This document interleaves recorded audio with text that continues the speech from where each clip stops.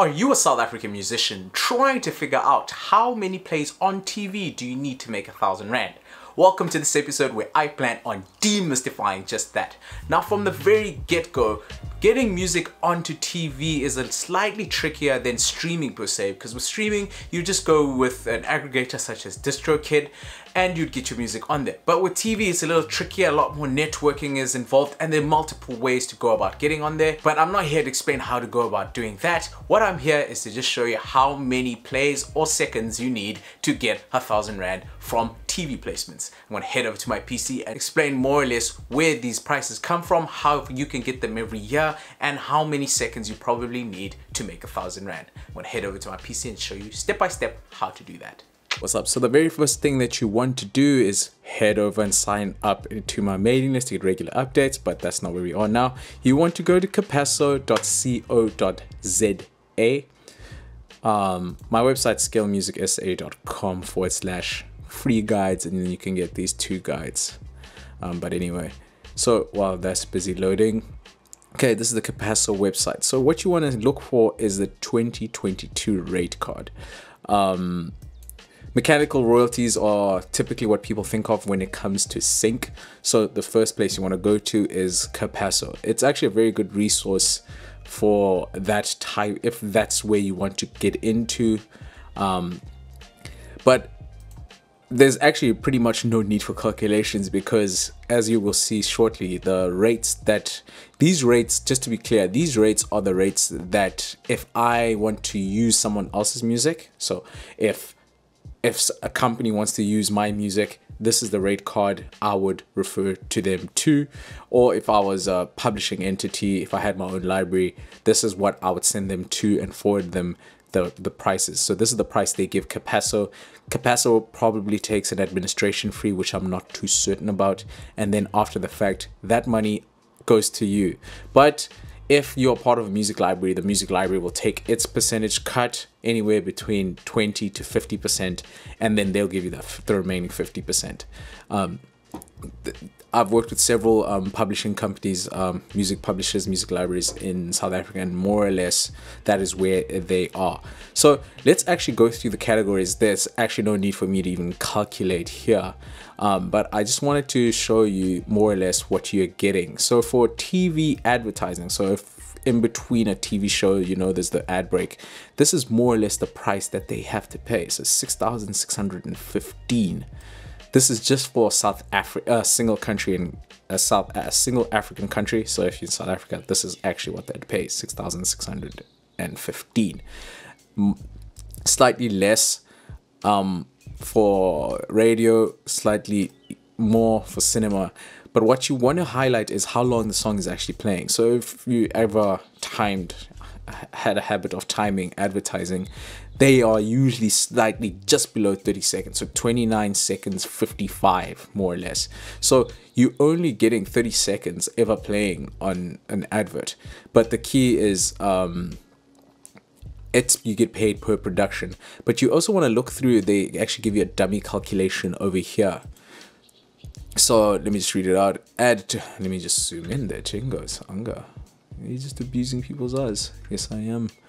So same same music, same campaign, 800% for the same music used in a series of productions. So if you're using the same song, um, let's say MTN has a campaign for summer, yellow summer, and they got the same song because they want to keep the advertising almost the same aesthetic feel, then this is how much you'd pay um, you just multiply it by 200% and this is how much the campaign rate would be so if your song is part of a campaign you will definitely be taking home quite a bit of cash um, I'll probably actually want to get someone in from Capasso to actually give us a, a, a better breakdown of how I'm explaining this but in general getting a thousand rand is not so difficult from TV. The the difficult part is making music that the production houses want to use. Um, online, everything's literally above a thousand rand. Yeah. Um, advertising, infomercial, slightly more for more minutes, obviously. Uh, airplane, I think, was the only one that was fairly low for 30 seconds. You know, when you're in an airplane, maybe you don't know, but sometimes on airplane there's music playing as you walk in, or when you put your headphones in. Some airplanes have like a screen, and then you listen, and then there's some music playing. Typically, some relaxing music. So if you're doing hip hop or something like that, that's probably not where you'd be landing. Um, yeah, they go again with their campaign. Film programming, it's another one. So um, this one's actually very interesting per production. So for the first 30 seconds, you have to pay 420. So this is, let's say you're watching, um, for example, if you're watching uh, Generations, if it's still around, watching Generations and then there's some background music. Since that music is not the main, main, um, main attraction it's just there in the background. They that's why they pay a little less. So for the first 30 seconds you're only going to get 420 420 so that's like you'll have to get this played for a minute and a half to break. That would be 1280 60 sorry 1260 and then 30 seconds. So you just need the song 30 seconds of the song to play three times or if you get the full song to be played then you're already 2000 up. So there's a there's a lot you can keep on going through this list but in general, you, it's safe to actually say, uh, oh, another thing. These TV stations have a blanket license. Okay, so there's no charge for this music to be played. So they don't actually have to pay for these. They've got a blanket license, and then you get uh, a section from the mechanical royalties that are being generated. But in like, what I'm trying to show you is, may there's there's a hidden market in TV and film that actually could be better off for the type of music that you're making than streaming or the uh, the what everyone wants. What everyone wants is streaming. What everyone wants is to be on a stage, a million fans screaming. But the reality is, only one 0.01% of people will get there. But if you actually spend a day watching TV, it's actually a habit I've gotten into. Bad habit, but nonetheless.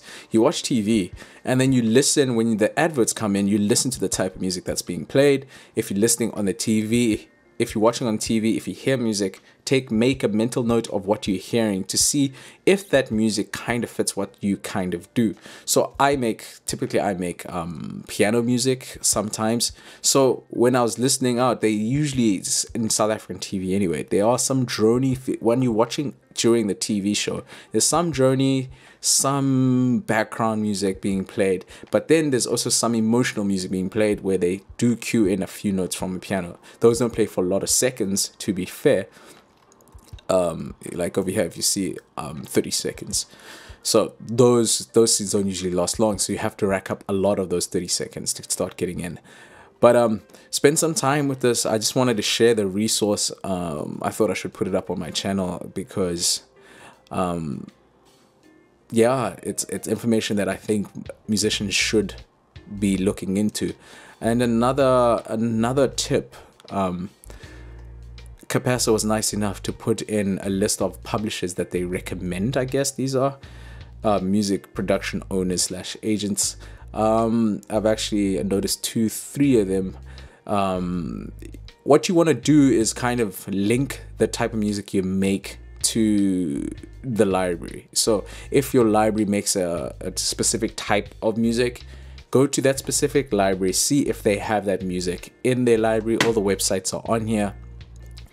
And then if you think your music would fit, you contact the library. Contact details are also on here. So there's literally nothing that you don't have access to. Everyone has access to it. It's just that this document was probably made for people who want to use music it's just that now you are the music creator, so you have to work backwards.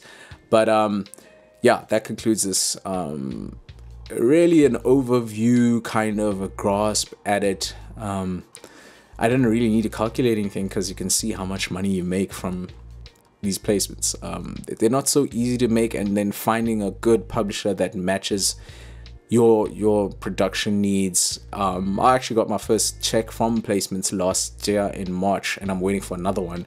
Um, but like the first year, three, the checks are usually smaller. So people say unless you hit a home run and you get exactly what's wanted. Um, and I went through I went through a music publisher, a uh, music library. So whatever I get is already got a percentage and I'm not allowed to disclose um, the percentage cut. But um, in general, if you have time, you can build the relationships yourself. If you don't have time and you're not the most good with interacting with people, it's probably to your benefit to get a music publisher or a publisher to do the negotiating and getting you the placements. For at the end of the day, they already have a clientele. You can build that up or you can get someone else like these music uh, libraries here at the end. But yeah, hope you found this useful. If you'd like to see how many streams you need to make a thousand rand, watch this video.